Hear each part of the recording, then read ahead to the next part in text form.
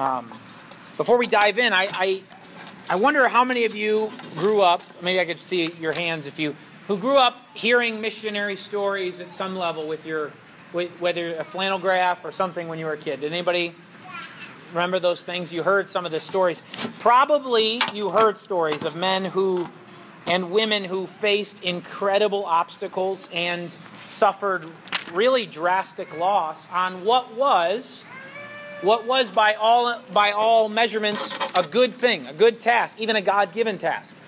One of the clearest that we all I know should hear of is you picture a story that, that maybe we don't know as many details as we'd like about, but Paul and Barnabas and their team traveling through uh, the hard journey of the gospel witness and seeing God work in incredible ways by turning people from sin to trust Christ or turning Jews who were worshiping the living God to worship Him faithfully in Jesus Christ in these different synagogues, but also in the same way, finding great persecution and resistance.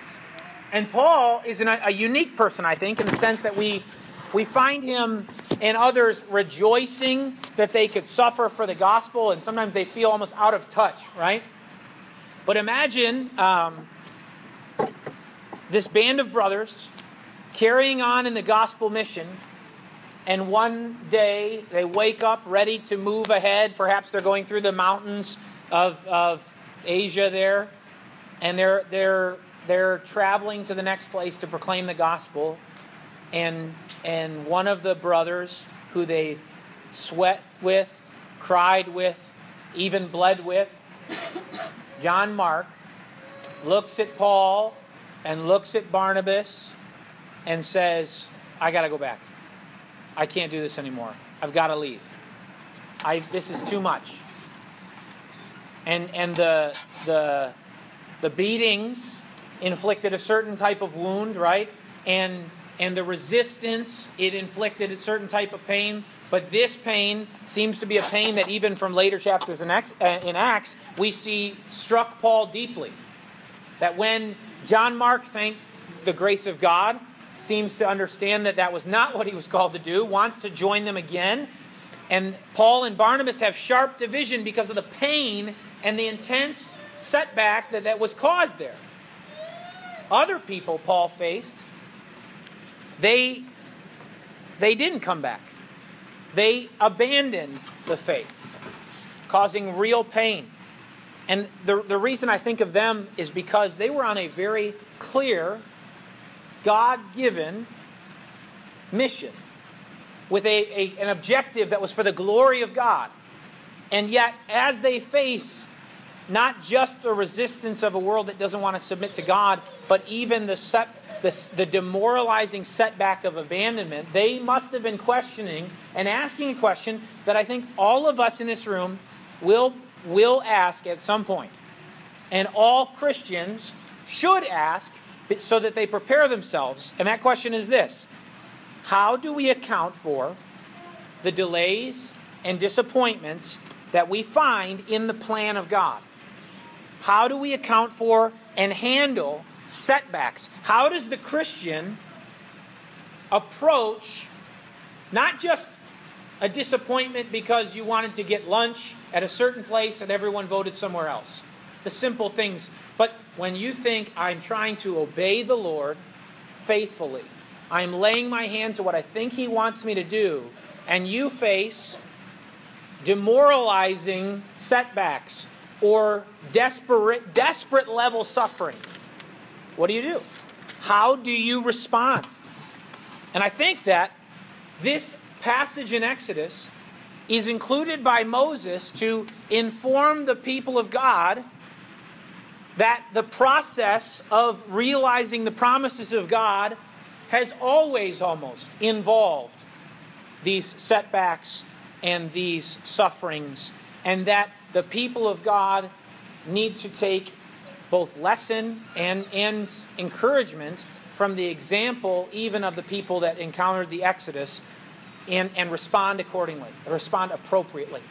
That, that God, He is trustworthy. His word and His character are trustworthy. even in the face of desperate suffering and demoralizing setbacks. That God is. He is faithful. He's trustworthy. He has spoken truly. He is worthy to be trusted himself, even in the face of these things. And we're going to see that in this passage today, I think. So let's begin by looking at Exodus chapter 4, verse 29 through 31, because I believe that sets the context. Some of you weren't with us, some of you just, I mean, it's a long week, we forget, right? Moses and Aaron brought together the elders of the Israelites in verse 29 of chapter 4, and Aaron told them everything, right, that the Lord had said to Moses. he also performed the signs before the people, and they believed. Things are going well, right? And when, and when they heard that the Lord was concerned about them and had seen their misery, they bowed down and worshiped. When the Moses and Aaron come to Israel, remember, God had said he interrupts Moses' life 80 years in, probably. And, and we know that he's actually been interrupting Moses' life for a long time, right? Even getting him out of the basket and into Pharaoh's house, but he doesn't know that. And, and he interrupts Moses' life. This man's probably 80 years or 40 years old.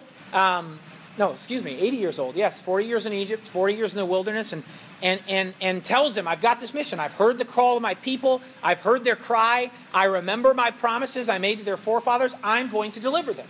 And here's what you're going to do you're going to march into the superpower of the world, the most powerful man on earth, and you're going to tell him, let my people go. It's going to work out. He's going to resist, but it's going to work out. And in chapter 4, we see things going according to plan, even smoothly. Moses and Aaron have got to feel like, man, this is the way it's supposed to work. The elders of Israel welcome them, believe the message, right? Which most of us have had enough exposure to the Old Testament to know that Israel believing the message is a an incredible work in of itself, right? We've heard plenty of times where they don't believe the message. They killed the prophets. Jesus talks about their reputation for that later on, right? They hear them and they believe. And I'm sure Moses and Aaron feel like, man, this is awesome. It's working. God's sending us. Here we go. God's really got our back. This is great. And they went and they were writing in their, their prayer update, God answered our prayers. Awesome. You know, they send that along to the, the people back in Midian or wherever. And now look at chapter 5. Afterward, Moses and Aaron went to Pharaoh, right? And they said, and they said, This is what the sovereign Lord, or th- this is what the Lord, the God of Israel, says Let my people go, so that they may hold a festival to me in the wilderness. Now, Moses and Aaron, right, they're riding high. They're pumped. And they're, they're you got to picture the rest of the people. The anticipation of a nation who's lived in slavery they see a man show up speaking on behalf of God. He verifies that by showing them these signs. Remember dropping the snake or the, the staff that becomes a snake, picking it up again, putting his hand inside the cloak, and it becomes leprous, and then it's healed again. And now this guy who shows up to them in their servitude and says, God's listening to you. He knows you've been suffering, and as we talked about last week, he is intent on delivering you despite all the appearances of the circumstances. They're thinking, this is going to be awesome. They're headed to tell the man who holds their freedom in his hands the message that God has for them. This is the king, right? Now, so remember the story we talked about in Genesis. Joseph sits in prison with a cupbearer and a baker, right? And and uh, and one receives a message of what? Restoration, and one receives a dream of what? Condemnation. And Pharaoh's word is the thing that brings that about, isn't it? For the cupbearer, all that he had to do was speak, and the man was restored. He was out of prison, he was free. But also for that, that, that other man, all he had to do was speak, and he was murdered. This is the kind of power in their hands. So, so the hope for Israel is great. They're thinking, wait, this is the guy that speaks, and it just happens. It, this is the Pharaoh, not the same Pharaoh that Joseph once saw, but this is, this is that position of earthly authority that they're going to see. So Pharaoh's just going to simply speak, and we are going to be free. God, this meeting is huge. And you can tell Israel kind of waiting with bated breath, right? The Lord says, Let them go. And you hear Moses and Aaron deliver the message of God to Pharaoh, probably in a big room, right, with a, a court, and Pharaoh seated above them, looking down at them. And it, it hangs silently in the air. Let the people go. And Pharaoh looks at others in the court, kind of like, wait a second. Because what, what had Moses said? This is what the Lord, the God of Israel, says. And Pharaoh looks at them and says, Look at verse 2. Who is the Lord that I should obey him and let Israel go? He asks the men standing around him, like kind of loud enough and sarcastically enough that the tone spreads a snicker throughout the whole room. Who, who who's the God they're talking about? Wait, who, did you guys? I have never heard this name, Yahweh. I am. Am I supposed to? Am I supposed to recognize that name, Moses? Am I supposed to understand that this? Not only that, let me ask you this, Moses. Am I supposed to obey somebody I've never even heard of? He looks right at them as the you know the group starts to chuckle around him and says in verse two, "I do not know the Lord, and I will not let Israel go." So the sarcasm perhaps turns into directly, What are you talking about? I'm not doing this. If I just trounced into the President of the United States office and said, This is what you need to do. And God told me. And, and he said, Wait, wait, wait a second. You know, there's means for you to try and realize this plan, but it's not by coming in here and telling me your God told me this. Verse 2 God, God told Moses, remember, that, that there was going to be resistance, didn't he? Do you remember God anticipating this and even saying Pharaoh will resist, he will not listen, and even he will resist so much so that I'll take his own his son's life at the end of chapter 4. But look verse 3. Moses answers to him, "The God of the Hebrews has met with us. Now let us take a 3-day journey into the wilderness to offer sacrifices to the Lord our God, or he may strike us with plagues or with the sword." You don't understand, Pharaoh, Moses says, right? Our God, he, he met with us. He told me directly, and He commanded me, and He's deadly serious about this. Notice even Moses says he might, God might judge us if we don't obey. But Pharaoh, he doesn't share their urgency, does he? Look at the passage. He's disgusted by them. Moses and Aaron, why are you taking the people away from their labor? Verse 4. Get back to their work. Get back to your work a pause hangs in the air, right? As Moses and Aaron look back at Pharaoh, and he speaks again. Look at the people. If you look at the passage, look at the people of the land are now numerous, and you are stopping them from working. Don't you understand what, how many people you're talking about, Moses? This is hundreds of thousands of people. Are you serious? You really want me to just snap my fingers and send the housemaid out of every Egyptian home and the, the, the laborer that, that cleans the, the cattle stalls and the man that builds the bricks for our construction. You want me just to say, hey, go ahead. The little boys, all the little Hebrew boys that are cleaning our dishes. You want everything to stop by just freeing all these slaves, hundreds of thousands of people just to leave. He looks at them. The economy of Egypt would be wrecked in a day. In a day. You know how many people you're talking about? You're trying to bring an end to Egypt as we know it. This is crazy. This is crazy. And you know why you're doing it? This is why your God's spoken to you, because you figured out a way to conveniently get out of your service. This is a religious conviction that keeps you from all this hard labor. That's what it is. This is convenient. This is an excuse. I've never heard of this God, and now this God is supposed to get you out of being a slave here? How convenient. Wow, did you meet that God in the wilderness? I mean, no wonder. I'm sure you missed the God that wanted you to stay in slavery in the wilderness. Pharaoh looks at him, as people throughout history have and will, at people who long to obey God, and they write off the words of God for them as religiously contrived convenience, commandments. You believe this because it helps you cope with suffering, or you believe this because it it manage, enables you to leverage your morality on others. You believe this because you want our society to be such and such. Pharaoh has the same ex- explanation. These people want to get out of their work, so they've concocted a story. Get your head out of the clouds, Moses. Come back to reality. Come back to reality. There's thousands of slaves that have to keep working for Egypt to keep its pace. There's no religious exemptions in Egypt. You're not getting out of this. Right? And Moses and Aaron, they hear this. And you can perhaps you can understand the excitement that was in their hearts as Israel listens and believes and worships God. By the way, perhaps the restoration of worship for God in Israel. There isn't much reason for us to believe that they were this remnant in Israel as slaves who were conducting all kinds of faithful worship the way that Abraham, Isaac, and Jacob had. It seems like they, they come back to God in such a way, at least a faithful worship of Him. So they see this, and now here's what they hear this utter, absolute rejection, a halt in the plan. You can almost think of Moses and Aaron walking out the doors. Did that just happen? He says he doesn't know God and he has no intention of obeying him. This is crazy. They thought they would be the cupbearer, right? They thought they would hear the words of the cupbearer, and now it sounds like they are the baker. Like they're about to be beheaded by the king who has the words to do that, right? That same day, verse 6, Pharaoh gave this order to the slave drivers and overseers in charge of the people You are no longer to supply the people with straw for making bricks. Let them go and gather their own straw but require them to make the same number of bricks as they did before.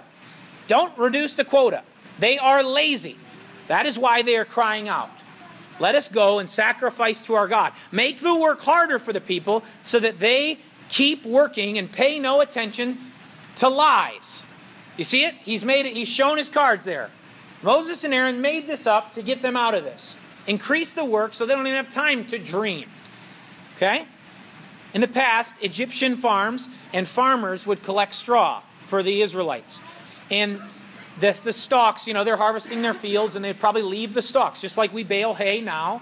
They would leave these things for, for the production of bricks, something that the slaves would most likely have been solely responsible for.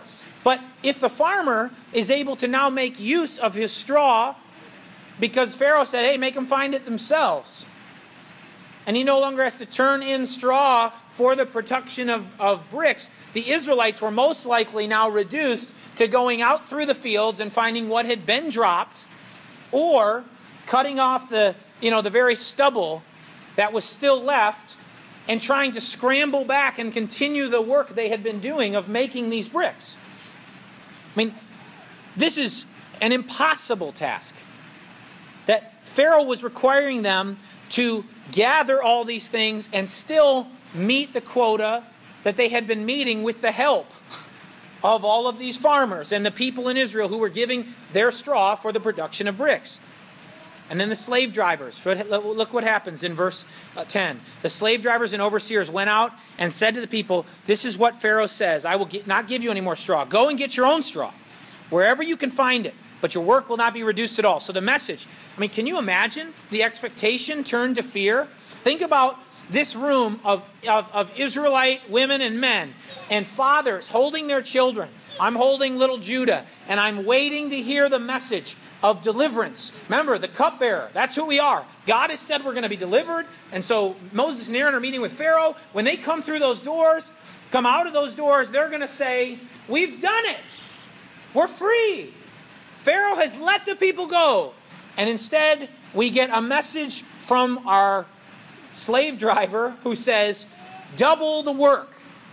And essentially, you can see you can see it in your mind the anticipation of slaves to be freed turn to anxiety and fathers who are holding their children and now hear this edict that instead of being freed they're going to be driven harder by their slave labor than worse and ever before with outrageous demands handing their children to their wives because they know that they need to leave right now and try and gather some straw if they're ever going to make this.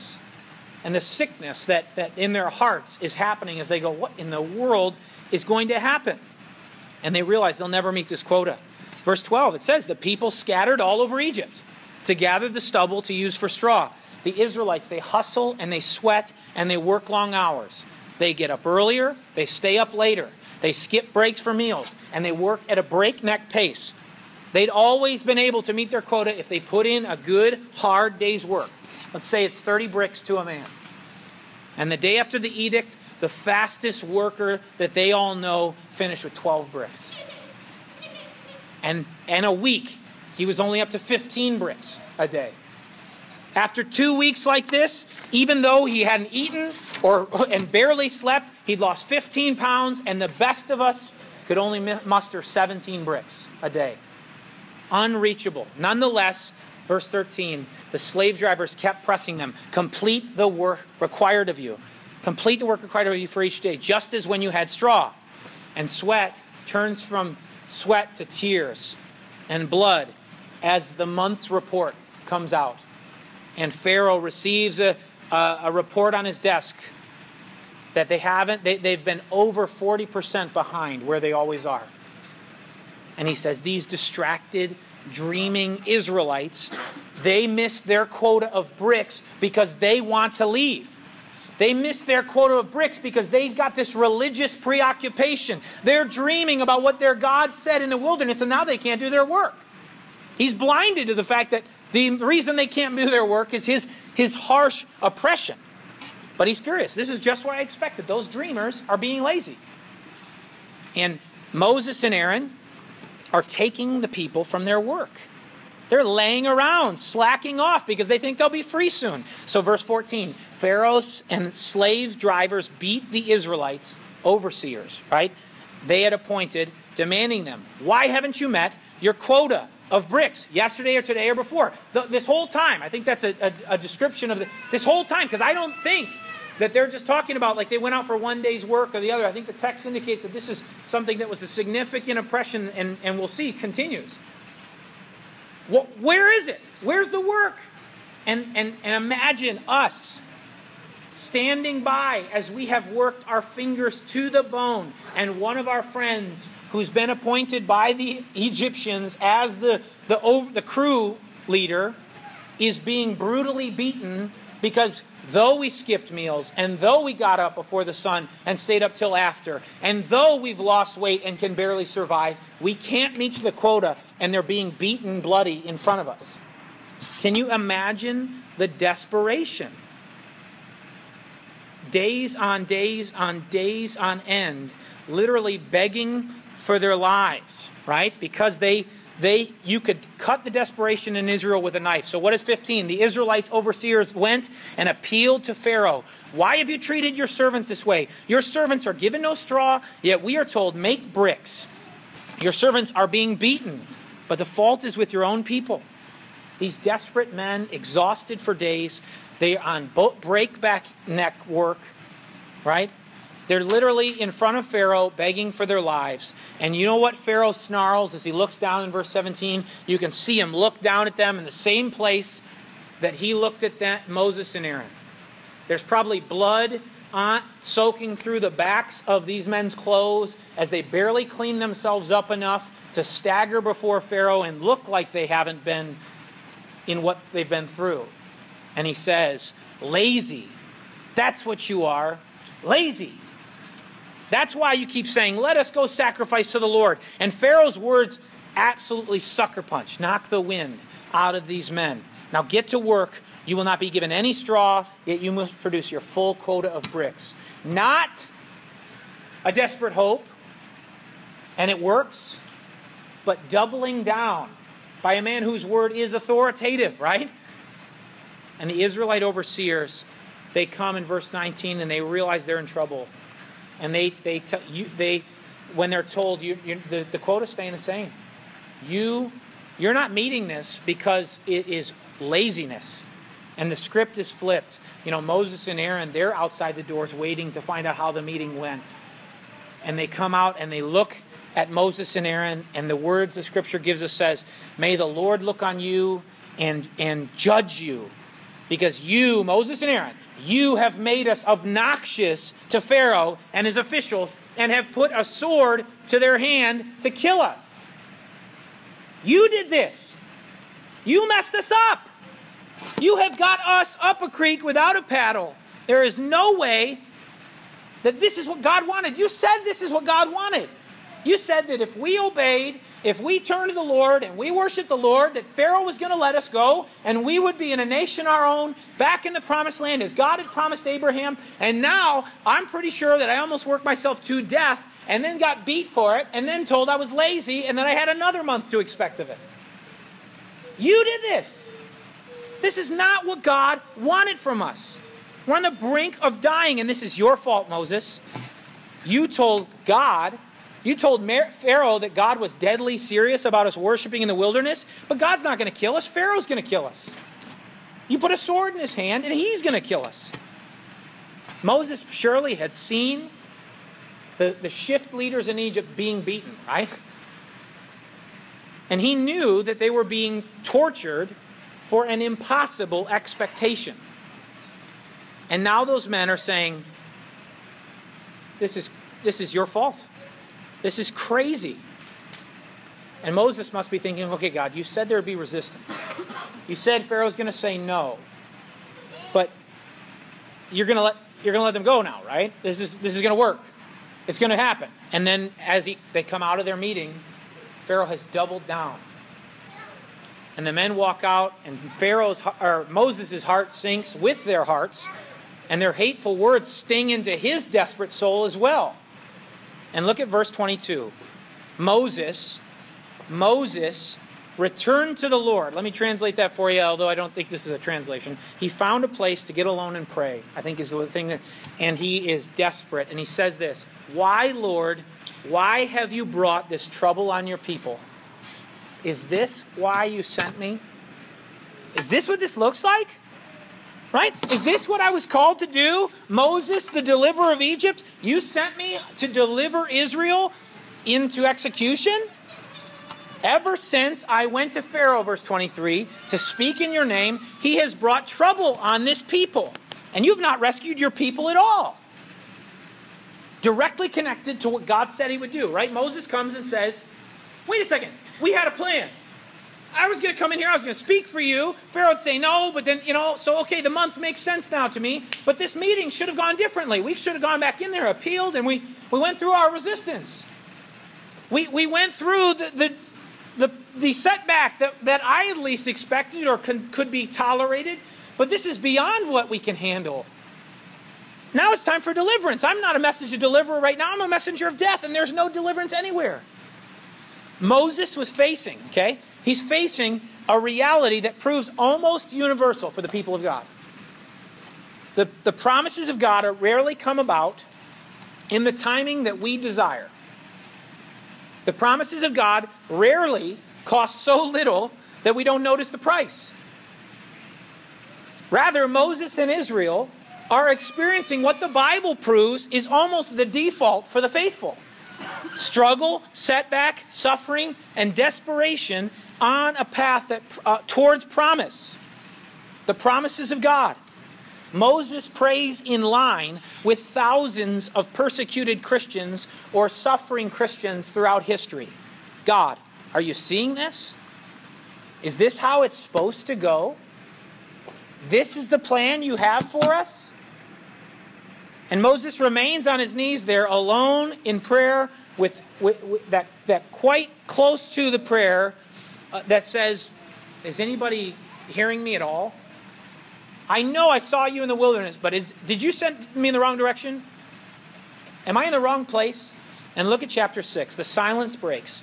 Then the Lord said to Moses, Now you will see what I will do to Pharaoh. Because of my mighty hand he will let them go. Because of my uh, because of my mighty hand, he will drive them out of this country, right? Of his country.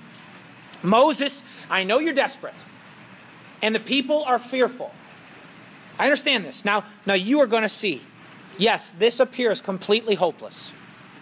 Granted. Yes, the cards seem stacked against you. Granted. The leader of the world, whose word is literally law, he has spoken, not once, but twice, not maybe, but dogmatically. He's said it, and he's, he's pushed you to the brink of death. He's not going to change his mind in the ways you hoped. But, but, the words of the scripture say here, he will let Israel go. Okay? Pharaoh may be convinced, okay, that he says no. But God says, I, am going to change his mind. I'm going to turn his hand, right? I, I, I am going to, I am going to make him let you go. In fact, make him drive you out.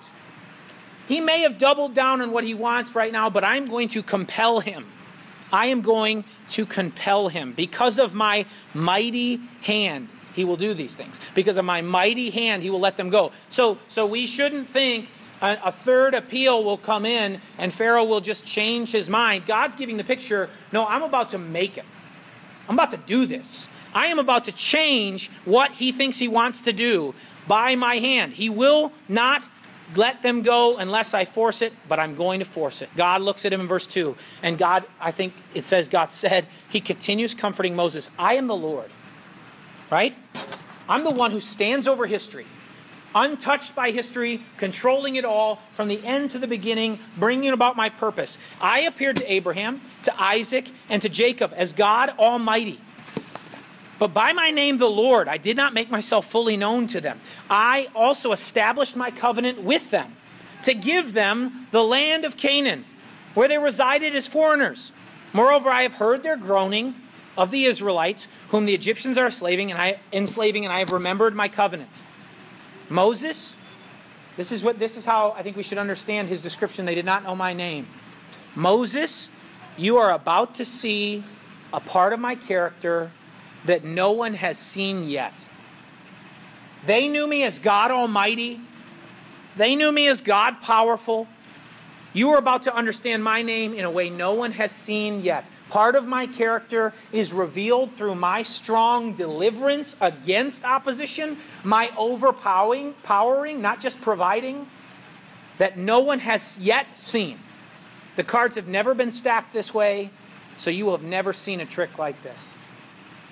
Abraham and Isaac and Jacob knew me as God above all, the Almighty, the strong, the God above the mountains, but they did not see this on display. They saw me provide, but they did not see me deliver. Utterly overpower the world's most powerful person government and military. That's what they're about to see. Don't back down, Moses. Don't give up. Say to the Israelites, what does God say here? Say to the Israelites, I am the Lord, and I will bring you out from under the yoke of the Egyptians. I will free you from being slaves to them, and I will redeem you with an outstretched arm and with mighty acts of judgment. I will take you as my own people, and I will be your God. And then you will know that I am the Lord your God who brought you out from under the, the yoke of the Egyptians, and I will bring to you to the land I swore with uplifted hand to give to Abraham, Isaac, and Jacob. I will give it to you as possession. I am the Lord. I am still the promise keeping God that made promises to Abraham, Isaac, and Jacob. I am still the great provider. I am still almighty. Israel, though, you will see how greatly I will go, what to what lengths and to what power I have in order to keep my promises. Because you've never felt this desperate. You've never been pushed to this brink. You have never had it so clearly displayed before you that the desire of God is in direct opposition to all the earthly forces you consider to be real.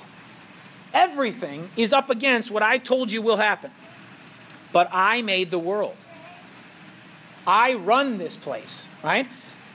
And I put breath in Pharaoh's lungs, and I stand over history, and I am the great I am, and I am aware of your suffering, and I will flex my muscles now dramatically on your behalf just to display how powerful I am. And God issues a great line of comfort and encouragement in line with his promise to Abraham You will be my people, and I will be your God. I will, I will move in, in continuing commitment to my covenant to restore a people to myself who will be with me in fellowship, who will be my people, and I will be their God. The very way that God intended the world at His creation, right? He will be with them. The hope that we even taste in the new creation, I will be with them. And Moses reports this in verse 9 to the Israelites, but they now are they're so discouraged, it says, that they did not listen to him because of their discouragement and harsh labor. And then the Lord says to Moses, Go back to Pharaoh. Right? Go to Pharaoh in verse 11. Tell the king, tell him, let him go. Let him go. But Moses says to the Lord, If the Israelites won't listen, why would Pharaoh listen to me? I speak with faltering lips. And Moses heard the word of the Lord and knew his character, but the setbacks and the suffering had him reeling, right? He was, he was staggering. worried and wondering. And Moses was forgetting what chapters 1 and 2 of Exodus had so clearly demonstrated to us that, that God was king over history and that things were unfolding along his plan. Moses was pulled out of the water in a, uh, uh, a basket made by reeds by Pharaoh's daughter to be raised in his house after Pharaoh himself had said, killed the Hebrew boys. He was forgetting that God was king over history and orchestrating even the harshest of events under his care. And I think that that's why in chapter 6 we have this genealogy here inserted in the midst of this tense story and moment. Because it points not to God's detachment from history, but God's supervision and orchestration of history. And there are many things that, if, as we look at the genealogy, we can learn from that. But for me, I want to take these together, five to seven, because God reissues what he's preparing Moses for. If you look at the beginning of seven, God prepares him for what's coming, and he reminds him exactly what he said before. See, I have made you like God to Pharaoh, and your brother Aaron will be your prophet. You are to say everything I've commanded you. And your brother Aaron is to tell the Pharaoh to let the Israelites go out of this country. But I will harden Pharaoh's heart, and though I multiply my signs and wonders in Egypt, he will not listen to you. Then I will lay my hand on Egypt with mighty acts of judgment, and I will bring out my divisions, my people, the Israelites. And here's one piece that is different and added. And the Egyptians will know that I am the Lord when I stretch out my hand against Egypt and bring the Israelites out of it. The plan is still the same, Moses. What I've spoken is true. You're my representative. You're my mouthpiece, and you and Aaron need to say what I've commanded you. Don't deter from it. Don't let the resistance of Pharaoh say, cause you to think, I need to change message a little bit. Maybe we need to rebrand this. No, go in and say what I've told you to say. Pharaoh's going to resist. You're going to get the same resistance, but I am still going to actualize, realize the real same promises. Even Israel, this place, God forsaken place, so to speak, who is oppressing you now, will all know who God is through this deliverance. The message for Moses and all Aaron and all of Israel that they needed to embrace was that God's word and character are trustworthy, even in the face of desperate suffering and demoralizing setback. Do you realize that? That, that, that God, He doesn't come to them and say, Well, let me see if I can find another way. You guys could sneak out of Egypt. Let's, let's do this. I'm going to I'm to make a big, you know, distraction and you can roll. All 600,000 of you. No, He says, No. I am trustworthy. I know you are facing far greater suffering and far worse setbacks than you ever anticipated. I know that you thought the path to promise would be hard, but not this hard. Don't deter from the course. God's word and his character are trustworthy. And even in the face of desperate suffering and demoralizing setback, we must trust him and we must remain faithful. Specifically, here, God's word of deliverance and his character as deliverer are trustworthy, right? His message for Israel was one that I am a promise keeping God who will deliver you in the face of these things. And in fact, as Israel reads the Pentateuch throughout their history, this is still what they need to hear. God's word is trustworthy, God's character is trustworthy. Circumstances lie, people lie, feelings lie. God does not lie. God's word is true. God's character is trustworthy. And when the people of Israel were in the wilderness and they asked the question, Did you bring us out here to die? As Moses said, Is this what it's about? Is this why I'm here? Or when they faced a famine in the land, or a giant and an army standing across the valley from them, named Goliath, right? They would ask, What? We're the promised people. The borders are supposed to be secure, and this is supposed to be different than right now. Or when people are getting slaughtered and others are getting carted into exile. There were people asking what on earth is going on, right? Is this how it's supposed to go? Israel faced many times because of even sinfulness of others and sin in, in their own camp, demoralizing, suffering, desperate setback. But there was something communicated that says that about the way they faced those things, it, who was faithful, the power of their faith. Those who left God to turn to idols or who ran in the face of hostility demonstrated that God's word functioned just like Pharaoh said. This is convenient to get what you want. This is a religious exemption to make life easier. Because now that life has gotten hard, you've let go of it. Life has gotten worse because of your faith. Oh, let me drop it. You've proved exactly what Pharaoh always thought. This is just part of your convenient path to what you want, which is what all idolatry is. Let me kill this chicken so I can get a good harvest or get pregnant or whatever. Right? But in the face of hardship and, and, and the suffering and setback that this sinful world brings, those who remain faithful to the character and words of God, the, the revealed purpose that He had, they actually demonstrated something, something powerful about the authenticity of their faith. And this has been true all the way into Israel's darkest days when the great light appeared, right? Can you imagine Peter and his heart is so excited as he declares to Jesus, You're the Messiah. You're him. You're the, the one we've been waiting for. God's chosen king sent to save and purify and restore God's people. You're the one we've been waiting for for centuries. You're the one that's going to expel the Romans. You're going to bring Israel back to glory on top of the world, and you're going to make the temple the center of the universe. This is going to be awesome. I'm living to see the day that Israel is on top of the heap. And Jesus says, I'm going to die. And Peter's confused and resists it. But then think of how his confusion and resistance becomes failure, fear, and desperation as he abandons Jesus along with the other disciples, right? And leaves him to flee, only to watch, perhaps from a distance in horror, as he is unjustly accused, convicted, and crucified. Buried. You hear the words of Luke? And we had hoped that he was the one that would redeem Israel. Is this the way it's supposed to be?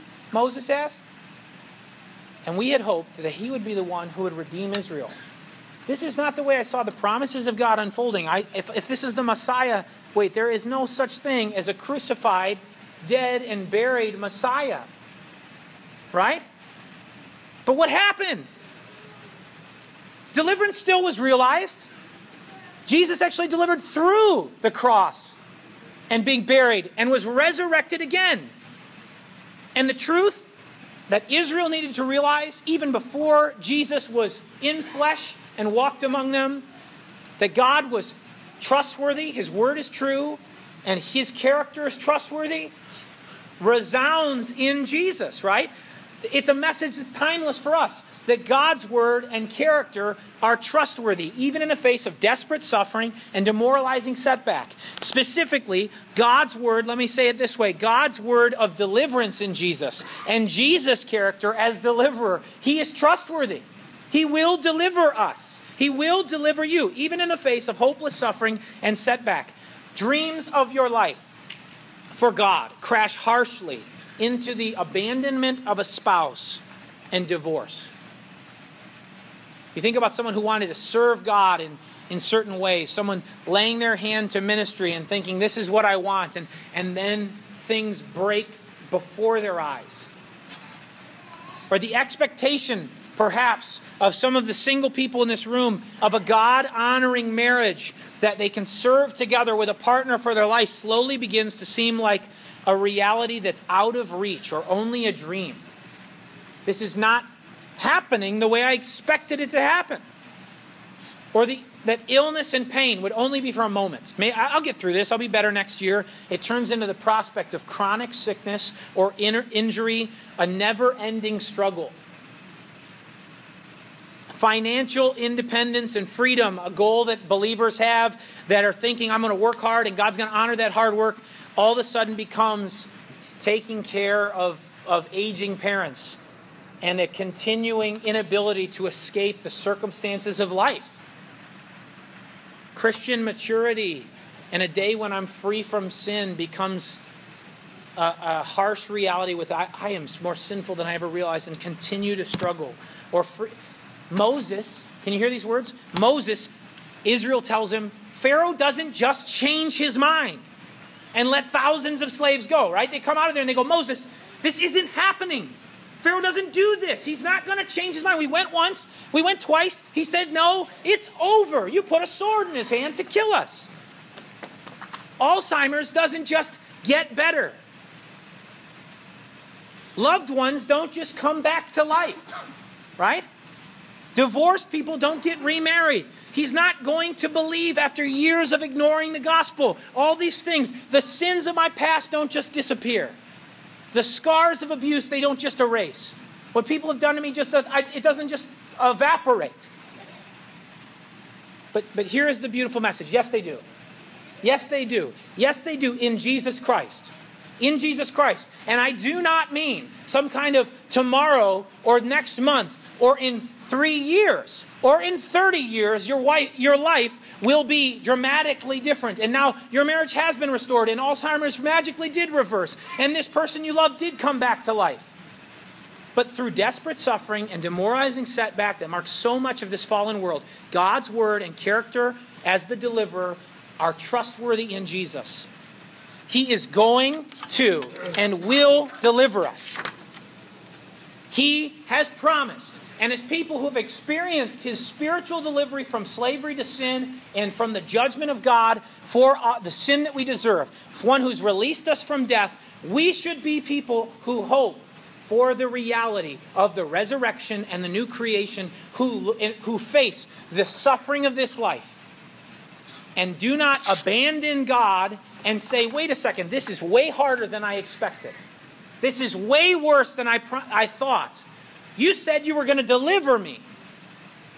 And then the suffering of this world and the setbacks of this life, both in the spiritual and in the physical, the reality we live in, they wear at us to wonder if God had really spoken, if He really is true, if He's really going to do these things. Is this the case? We have the confident expectation, the hope of glory. Because Jesus is the God who is trustworthy and true. And when He says He's going to deliver us, He will and he has resurrected and is coming again. And ultimately, the person who watches a loved one battle Alzheimer's or goes through it themselves or sees relationships break down or faces the suffering and pain of chronic illness or abuse or accident or whatever, they have the hope, the confident expectation of the fact that when Jesus comes again, he will ultimately deliver us into the new creation where there is no sickness, no sorrow, no suffering, no death, where every joy that you've experienced now is only a barely a hint of, of what the normal every experience will be like for all eternity. That the, the greatest joys you've tasted will be the hallmark of, of daily life. And the suffering that you encounter and continue to cling to Christ through will be no more. Will be only a memory of God's sustaining grace and how good He was to help you to cling to Him. That one day you and I will be delivered. And the words God said about Israel, they will be my people and I will be their God. They're repeated for a reason in Revelation 22. I will be with them, and they will be my people, and I will be their God, because God is trustworthy and true. His message of deliverance is sure. And the setbacks and suffering you face in this life, they cannot loosen our grip on Christ. They must tighten it because despite all appearances, even as we know what happened to Israel, right? God comes in the next couple weeks, we'll rejoice in his almighty arm being shown as he releases them from Pharaoh. We know that he is a promise fulfiller and He will deliver us. He will. He has begun that deliverance in Christ, and He will bring it to completion. So, we must not be those who shrink back, but continue to hold firmly to Christ, so we will share in Him in the end. Let's pray. Father, thank you for being a God who holds, for, who, who holds true to His word.